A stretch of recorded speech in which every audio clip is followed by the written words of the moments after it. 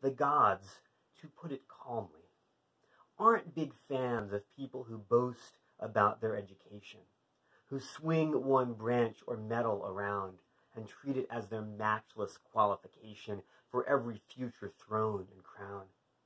None of the gods are fans, but Artemis, whose mother was a refugee, who grew up alone in the woods, it's personal.